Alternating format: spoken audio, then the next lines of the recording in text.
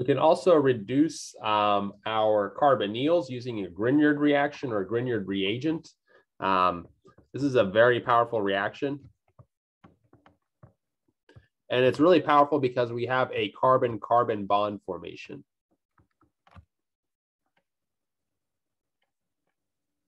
Right, so we haven't learned that many different ways to form, form carbon-carbon bonds. So whenever you do, that's obviously a really important reaction because it allows you to construct much larger molecules.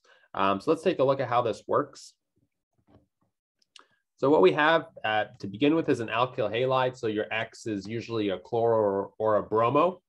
And when we think about the properties of this molecule, this compound is going to be electrophilic, right? We have this um, dipole arrow uh, pointing towards the more electronegative halogen rather than the carbon, right? And so this is an electrophile. And so you would expect it to be attacked by things rather than um, be attacking things. However, what we can do is we can add magnesium um, to this compound. And when you add a, a, magnesium, what it does is it inserts itself um, in between the carbon and halogen bond and flips the polarity of this bond. So um, now what we have is actually the carbon is partially negative instead of being partially positive. And what this does is it makes it a really good nucleophile also a pretty strong base as well. So basically what this is acting as is kind of like a C minus, um, if you want to think about it that way. Um, depending on whose mechanism you look, some people just draw it as a C minus. And so similar to the reducing agents to the sodium and the lithium aluminum um, hydrides,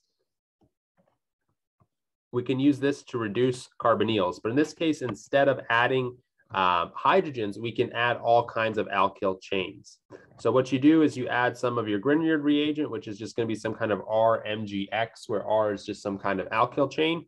And then the second step, you just add some water to get rid of any excess um, Grignard reagent um, and reprotonate your alcohol if needed. And so what this does is it transforms the carbonyl into an alcohol and adds whatever R group um, was attached, right? So this is a really powerful reaction because you can make all kinds of large molecules. Uh, the mechanism for this is relatively simple and pretty much the same as our hydrides. So we have our Grignard reagent, which is nucleophilic. We've got our carbonyl, which is electrophilic. And then our nucleophile is simply going to attack our electrophile. We're going to break that carbon-oxygen bond. That way we don't mess with the octet rule. Right? And what you can see is now we've added our alkyl chain. Make sure that you're adding the correct number of carbons. In this case, we have an ethyl um, Grignard reagent, so we add an ethyl group here.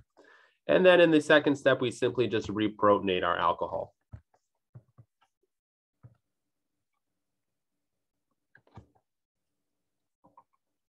Again, you can represent this um, ethyl Grignard as an ethyl with a negative charge if you'd like. Um, but there are some things we have to be careful about Grignard reagents, as we'll see in the lab.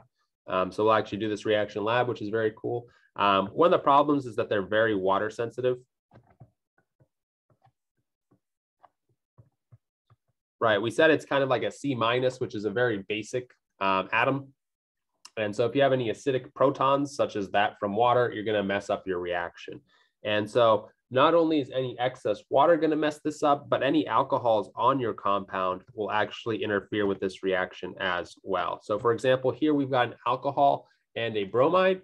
Um, and then if we try to add some magnesium, we will briefly form our Grignard reagent. However, immediately this acid-base reaction is going to occur.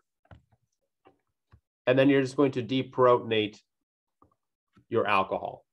Um, and so, right, that's not what you necessarily wanted to do. Maybe you wanted this Grignard to attack some kind of carbonyl to make a larger molecule.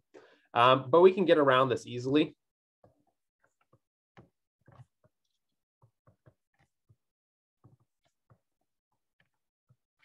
Using what's known as protecting groups.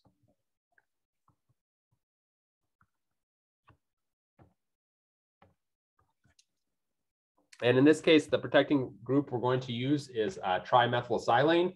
So it's just a silicon with three methyl groups and then um, a chlorine attached to it as well to have a good leaving group. So for example,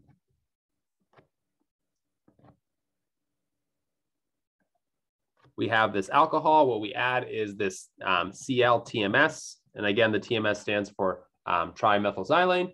And then we just add some kind of weak base. Um, generally, um, triethylamine is used. And what this does is it replaces the OH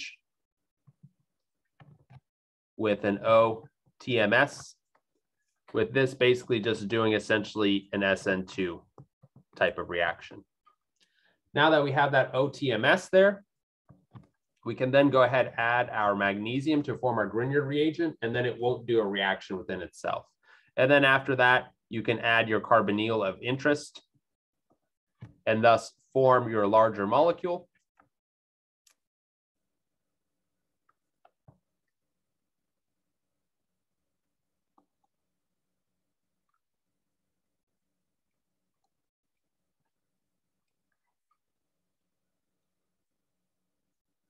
And then you can simply remove the TMS by the addition of some acid.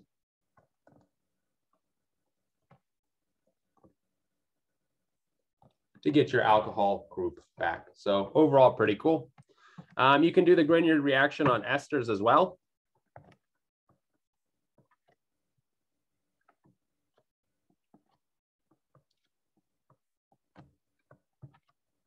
So for example, if you added some excess of maybe your methyl Grignard reagent, and then after that do a, a water workup,